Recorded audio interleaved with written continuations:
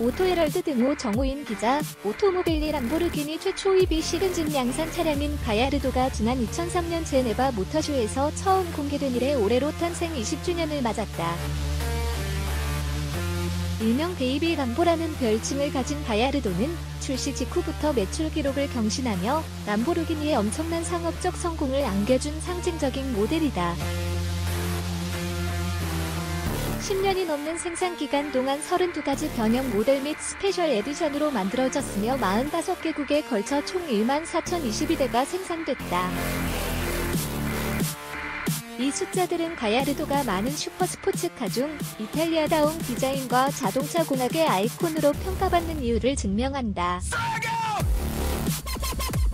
오토모빌 람보르기니의 설립자인 페루치오 람보르기니는 가볍고 경쾌한 주행 감성을 지닌 진정한 슈퍼 스포츠카를 람보르기니 라인업에 갖추길 원했다. 무엇보다 고객의 needs를 겨냥해 가격과 유지비 측면에서 메리트가 있는 베이비 람보르기니를 선사하고자 했다. 이에 맞춰 1970년대 초에 우라코를 그리고 1980년대에는 잘파로 시장을 개척했다. 나아가 람보르기니는 1987년 더 컴팩트한 모델을 만들기 위한 L140 프로젝트 개발을 시작했다. 수년에 걸쳐 여러 프로토타입이 개발됐으며 처음에는 B8, 다음에는 B10 엔진을 장착하며 다양한 기술적인 솔루션이 개발됐다. 그러던 중 1998년 신중한 검토 끝에 람보르기니는 B10 엔진의 일반적인 수치 및 아이디어를 바탕으로 다시 시작하기로 결정했다.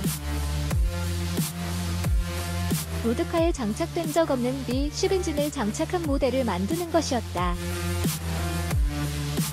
그렇게 개발된 새로운 엔진은 당시 기술 책임자였던 마시모 체카라니와 엔진 개발 및 설계를 담당했던 마우리치오 레지아니의 작품이었다. 첫 번째 가야르도에는 최고 출력 500마력을 발휘하는 V10 5리터 DOHC 엔진을 장착했다. 주목할 점은 기존 72도였던 엔진 뱅크각을 90도로 변경하며 엔진의 높이를 낮추고 무게 중심을 낮춰 주행 역동성을 개선한 것이다. 더불어 rear 엔진 후드를 낮춰 후방 시야를 개선하는 효과도 얻었다. 또한 18도 오프셋에 크랭크 핀을 채택해 규칙적인 점화 간격을 만들어내는 데 성공했고 이로 인해 엔진의 부드러움 보장하는 결과를 얻을 수 있었다. dry sump 윤활 시스템으로 극한의 주행 조건에서도 완벽한 윤활을 가능하게 하며 무게 중심을 더욱 낮출 수 있었다.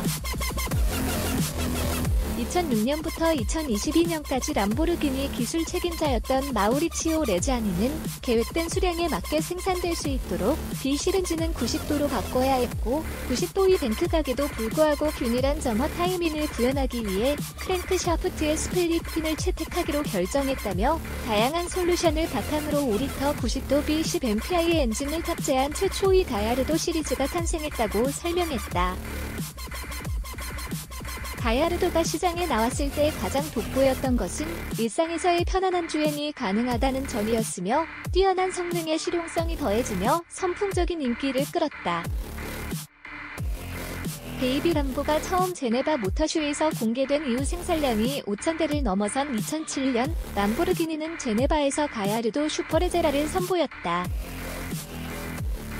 가야르도 슈퍼레제라는 기존 모델 대비 10마력 HP 증가와 100kg의 중량 감소로 더욱 역동적이었고 중량 대출력비 2.5kg HP를 달성했다.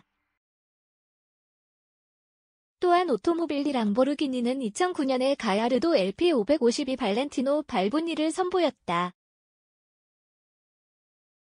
250대만 생산됐으며 가야르도 최초로 후륜 구동 방식을 채택하고 더 향상된 550마력 HP의 최고 출력을 발휘해 운전의 재미를 더했다. 이후 수많은 고객의 요청으로 가야르도 LP552는 각각 2010년 양산 모델과 2011년 스파이더 버전으로 생산됐다.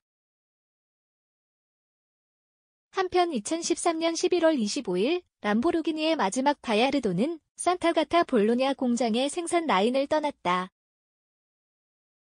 마지막으로 조립된 모델은 로소 마스 컬러의 가야르도 LP574 스파이더 퍼포만테였다.